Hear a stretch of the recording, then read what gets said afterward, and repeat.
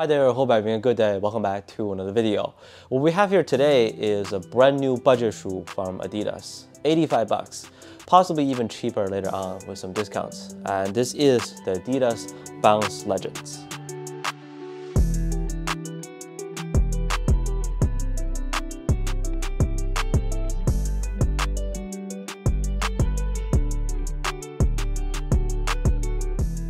So the retail price for these is 85 US dollars, but I'm pretty sure they will go on sale at some point.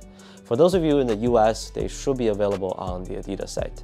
Um, yeah, later on, maybe even soon, you'll probably see these discounted or at the outlet just like most of their other basketball shoes nowadays. It is a very typical Adidas budget shoe.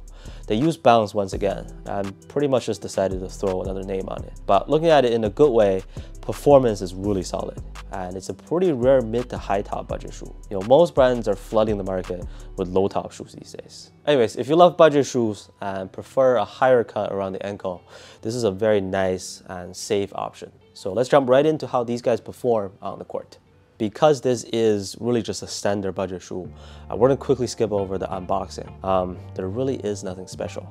Two things that you need to know.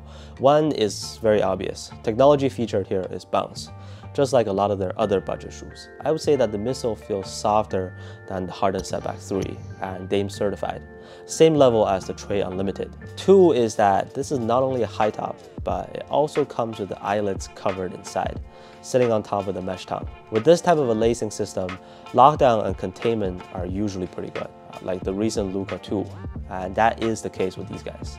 Weight is about average, slightly on the heavier side, at 450 grams for size 10.5. But on feet, they feel just fine. I definitely don't consider them as a heavy shoe. So let's talk about the cushioning setup. For a budget shoe, I think this is honestly better than average. Adidas seems to have made bounce a little bit softer on the recent models, based on my experience. So this midsole feels just like the Trae Unlimited. You get a responsive feedback underneath. Impact protection is decent too. You know, one common problem on a lot of cheaper models offered by different brands is that landings can feel stiff with the lack of tech, but these are fine and they're pretty bouncy. This shoe really didn't take much of a break-in time for me and they're pretty comfortable in general. Moving on to the traction, so here's what the outsole looks like. It has these pods on the forefoot and heel with a herringbone traction pattern inside the pods. Otherwise, it's a simple line pattern. Dust pickup was okay. Uh, it was actually really easy to wipe off, and I think they are good for outdoor use. So traction performance was great. I had no issues with it and it's a pretty squeaky outsole that stops really well. With the fit, these are true to size. They're about average width. Going true to size was the perfect fit for me someone with slightly wider feet. Not too tight or snug around the midfoot.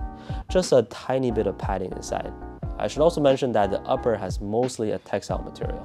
Quite a lot of fusing like surrounding the toe box and on the lateral side near the three stripes. The materials didn't cause any discomfort for me, but for its price and build, I also wouldn't say that it's got excellent lateral containment. It is a flexible upper that bends fairly easily. Breathability is going to be average at best, because it isn't a thin mesh and not a whole lot of ventilation with this setup. Maybe the biggest highlights are the lockdown and stability. My feet did feel very secure inside. Going up and down, I really like the containment. And yeah, ankle support is better than most other budget shoes too, with the higher cut. Overall, I would say that the Bounce Legends is better than what I expected. Traction is good, you get a nice little bounce in your movements, not much of a stiff feeling on feet. Uh, most importantly, it's got a very secure lockdown for a budget shoe well below 100 bucks. Should be quite a few colorways out there to choose from, and I think they look pretty nice too. It's got a simple but futuristic style to it. But let me know how you feel about these down in the comments. If you watch this far, don't forget to drop a like and consider subscribing to stay updated for more budget shoes coming up. Thank you so much for watching and I'll see you on the next one.